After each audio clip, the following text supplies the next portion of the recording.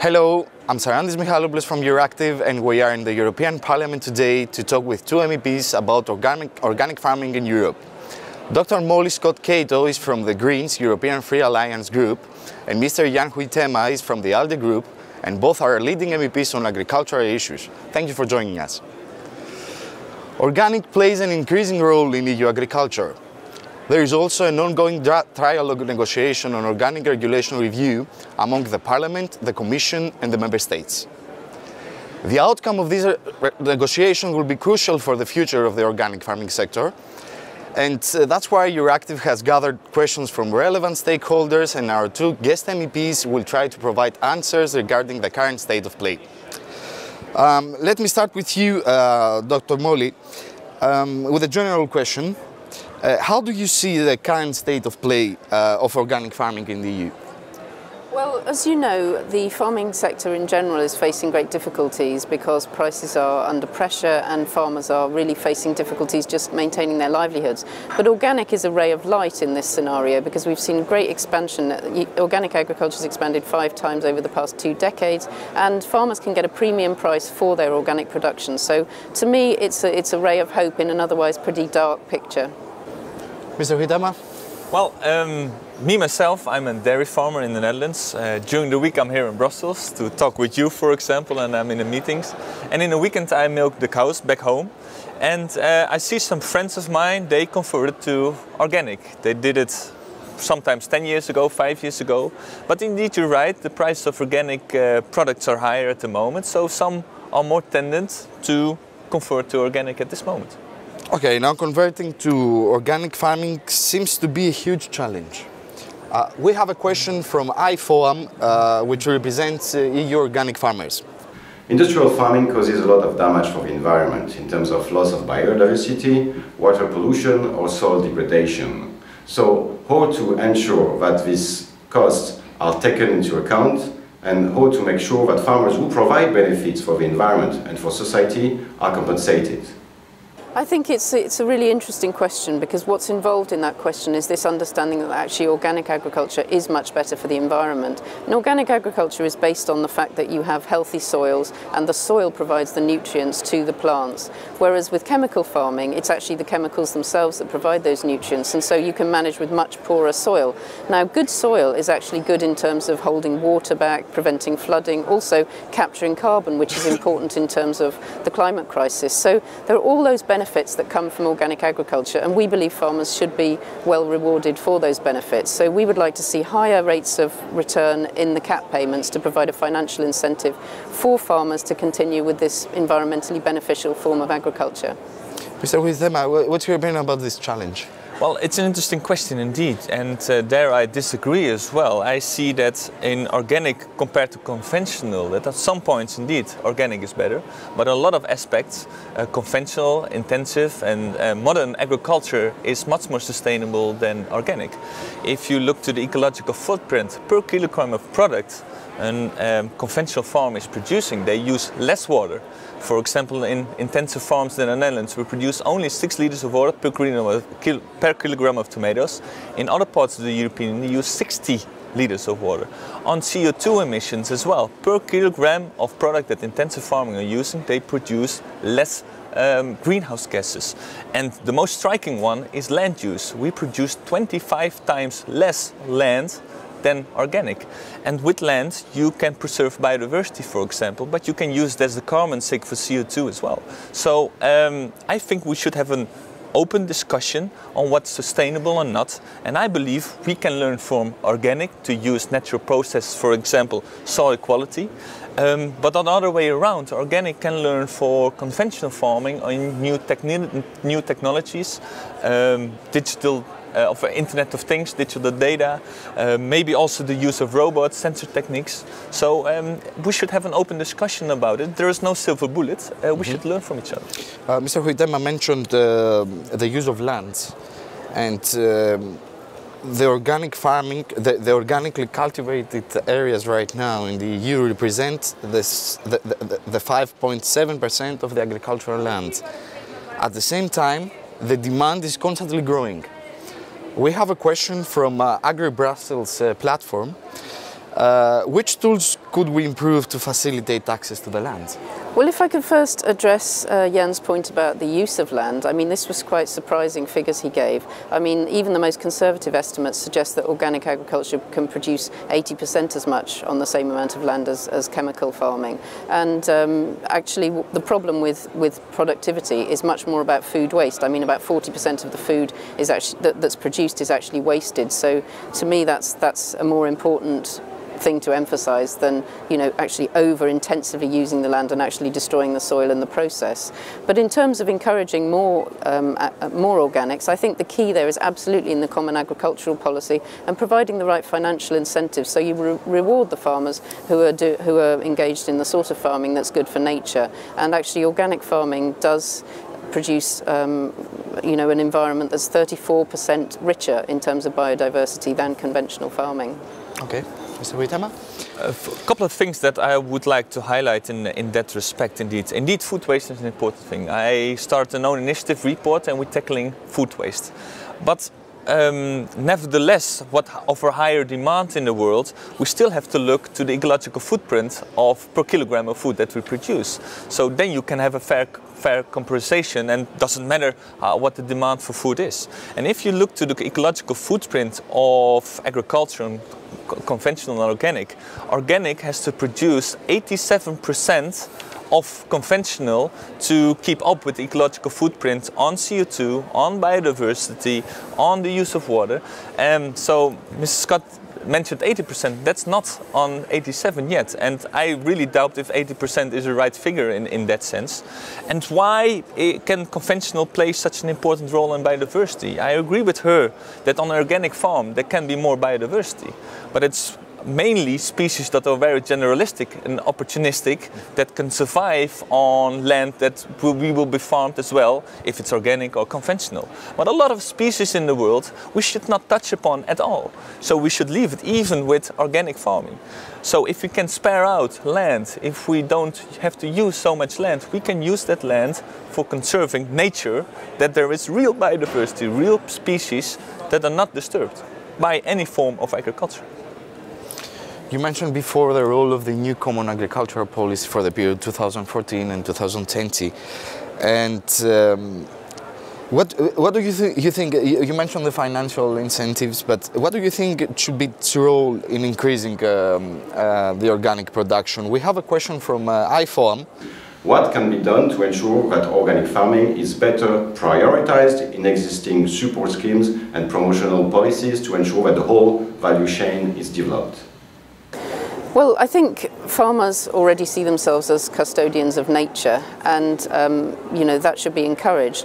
And I absolutely support giving subsidies to farmers, but I think it's important that they provide social and environmental benefits in return. That's the kind of deal we're doing. And at the moment, we have some payments through the CAP that just go to income support for farmers, and some which are attached to greening measures. And uh, Greens think that all the money should be shifted towards the pillar that's about providing social and environmental benefits. So, you know, we need to respect the fact that organic agriculture provides all the benefits I've said already in terms of climate change, in terms of flooding, in terms of allowing, for example, pollinators, you know, not putting pressure on bee populations, which is also important for agricultural production. So all of those incredible benefits that organic farmers can provide should be rewarded much more strongly through the CAP payments. And if they were given financial incentives, then this would encourage more people to move into organic agriculture and it would meet the demand and make sure that farmers had a, a premium price and it would help their livelihoods as well. Let me insist on that.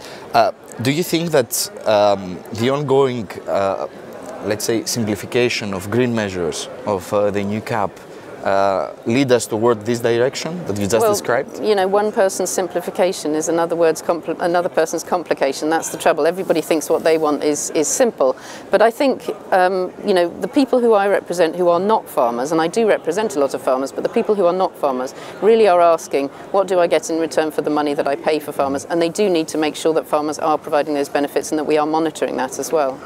Mr. Huitema? Well, that's a fair, fair, fair, point, of course. It's taxpayers' money. We should explain how we spend it. Um, I think we should focus what is the goal of the cap. And uh, my understanding, all the understanding is that we find to, um, help to be having a competitive and sustainable EU agriculture. I think that's Everybody agrees with that. But how to do so? And there I see indeed some problems with the CAP at the moment. That it's not so much goal oriented, but a lot of the measures. And what I see in the Netherlands, for example, that some farmers, for example, on birds, they want to have more birds in their pasture. They can only get subsidies if they fulfill a whole checklist of measures they have to fulfill. Some farmers are doing that, and some meadow birds are not coming back. But neighbor uh, doesn't want to fill in the checklist because say this doesn't make any sense. I do it my own way. It's full of meadow birds, but he doesn't get the mm -hmm. subsidies. So I think two things. It's very important. We should focus on indicators how to measure sustainability. That's the whole discussion. What I try to say that we should not focus on the form of agriculture, not on the form of agriculture. That's an, a non-issue uh, discussion. We should focus on what is sustainability or not and try to measure it. And that can be done by conventional or organic, doesn't matter for me. Um, so the CAP should orient much more on the goals that we want to achieve. And uh, in the long run, I hope that EU agriculture can uh, get the money much more from the market and we should have a discussion on is taxpayers money, should we pay taxpayers money for environmental measures that we can't mm -hmm. take mm-hmm. out of the market? Would you like to add something on that? Yeah, I just wanted to say about the checklist. I mean, you can go into all sorts of incredibly intense um, monitoring processes through ticking boxes and so on. Exactly. But to me, the simplest way of achieving greening is to make sure there's a lot more organic agriculture because that is the greenest way of farming. Well, and that is something I don't agree, and that should be stupid. Um, we did, we have seen it before that biofuels was the silver bullet for climate change. Mm -hmm. Well, there you see intention that now the opinion is completely different. We should look to the facts and not about the gut feeling. And I believe organic farming has a lot of gut feeling uh, in it. Look to the facts. Well, on that point, it would be good if there was more research into organic farming because there's 10 times as much money spent on researching biotech as there is organic. So, you know, I'm happy to have some more money if you're if you're agreeable to that, Do and then we can know more well, about the effects of organics. It's it's a, it's a good point in this as well. What I mentioned in my report too, that we should focus on the natural process and use the natural process in the benefit of agriculture. And uh, a lot of farmers in the Netherlands, if it's conventional or organic, they're using, of course, the natural processes, and they see they don't want to deplete their soil. No, they want to have a good soil quality because they have a better production and they have a less leakage of nutrients. So uh, indeed, I, I completely agree with you that we should look to the biological, the agroecological, the natural processes and try to find uh, solutions for that. But that's, that said, we also have to focus to biotechnology and other techniques because with that combination we can make multiple steps in a sustainable farming. Now, um, taking into account the link between agriculture and uh, environmental protection, BirdLife Europe asks, do you believe that cutting subsidies for harmful farming practices could be a solution to create a level um, playing field for sustainable practices? Well, I mean, I think I've already made clear that, that to me the answer is incentivising organic production. Consumers have made clear that they want organic food, farmers can get a good price for it. So what we need to do is encourage that form of agriculture. It will help farm livelihoods and it will also automatically help nature because it's a more nature-friendly way of farming. Two things. I think uh, we have to inform the consumers better and uh, listen to science and uh, don't pick one specific form of agriculture, but look to the goals that we want to achieve. And uh, secondly, uh, on the level playing field thing, yeah, that applies the same. Like we uh, agreed on a lot of goals that we want to achieve also in the environment. Uh, we should focus that the member states implement indeed the legislation and that all the member states put in the same effort to reach that goals. Uh, you, you, said that uh, we have to listen to the science. Would you like to elaborate on that? Well, um, focus, for example, how to compare what is sustainability. So try to find indicators in what is sustainability. And one of the indicators is to look to the ecological footprint per kilogram of product you produce. And if you compare then, for example, uh, organic with conventional, then you see that on some points indeed organic is better. But a lot of other topics, uh, conventional is doing better on uh, greenhouse gases, on biodiversity, on land use, on water use. So less with more. I'm a big fan of peer review literature because I'm a professor as well as an MEP, but I do think we need to look very carefully into who's paying for the research. And I think in terms of agricultural research, there's an awful lot that's funded by agribusiness to find the sort of results that agribusiness wants. So by all means, let's use science, but let's be very informed about where that science is coming from and who's actually paying for those results. Okay. Um, another question is related to the conventional farming and uh, the yeah. organic farming. How can we can the EU prevent uh, the contamination by conventional mm -hmm. uh, farming mm -hmm. to Mm-hmm. the organic farms. Yeah. This is an absolutely crucial point because in order for something to be registered as organic and to get that premium price, we have to be able to guarantee to consumers that there's absolutely no pesticide residue there. But at the same time, if there's any contamination from neighbouring farmers who are using pesticides, then those farmers at the moment can't sell that crop as organic. And we think that's absolutely wrong. We think that the polluter should pay. And so if it's a neighbouring farmer who's actually contaminating that crop, either the farmer or the agribusiness that provided the pesticide should then compensate the farmer. That's absolutely essential because otherwise how can we agree that, that farmers can go ahead and convert to organic if they can't guarantee that premium product because they've done nothing wrong themselves? At least you say that at least there must be a kind of compensation to. But the compensation must be paid by the person who's responsible for the pesticide. That's the so most the essential farmer. point. Either the conventional farmer or the person who provided the, the chemicals, the pesticides to that farmer. Mr. Huitema, do you agree with that? Um, I, am having a little bit more realistic and pragmatic approach in this. Uh, we should not look to the products. The products are safe. If it's conventional or organic, there's no doubt about it. Those rules are very, very strict. Um, but to indeed see the difference between an organic and conventional, we should look to the process, how it's produced. So have a process-based approach, not a product-based approach. Um, in the Netherlands, you see that it's very dense populated, and we have a lot of different farms um, uh, in, in the Netherlands. They can work very good together with it, with themselves. So if you do really product-based, you have a big problem uh, there. And uh, the polluter pays principle, principle, yes, well, then maybe uh, the organic farmers should pay the conventional farms as well for the water use, for the ecological footprint, like I already discussed, that they do much worse than conventional. So it's a non, it's a non, it's it's it's a strange discussion uh, in that way, and we should be fair on that and to look to the ficts and figures again. So, and the, the last crucial question um, does the current reform of uh, the organic regulation sufficiently address all mentioned above? I'm not convinced that the way the negotiations are going is really working in farmers' interests or consumers' interests at the moment. I mean, we're always concerned that there's a lot of lobbying that goes on at the Commission by agribusinesses, and also they're lobbying their national governments, and so they're influencing the, the third arm, which is what happens in the Council. And what we're trying to do as Greens, who are uh, running the trilogues for the Parliament, we're trying to make sure that what comes out is the best for consumers so they can be sure that organic food doesn't have any pesticides in it and is safe and healthy, and making sure that farmers can get the premium price for their product. And that's what we're pushing for, and we're going to resist whatever lobbying comes from agri agribusiness to loosen up these controls. Mr. Huitema, are you satisfied with the current results? Um, about lobby, yes, uh, we got a, lo a, lot of lobby from both sides, so yeah. Um, but I tend not to listen to that lobby. It's just my very much my personal uh, opinion in this that we should always keep room for maneuver for farmers, room for innovation, room for entrepreneurship, and we, if we have so tight legislation then the farmer themselves cannot think anymore. So we think here in this house for the farmer. I think that's a wrong world and we should not let should not allow that. We should always have the motivation and the capacity of the farmer to think what is better on his farm.